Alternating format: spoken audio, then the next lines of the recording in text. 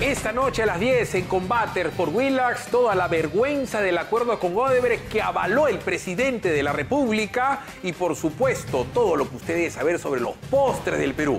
Y un bonus track, Día de la Chela y del Cajón. No del cajón de la chela, sino del cajón peruano. Imperdible. Combaters por Willax a las 10.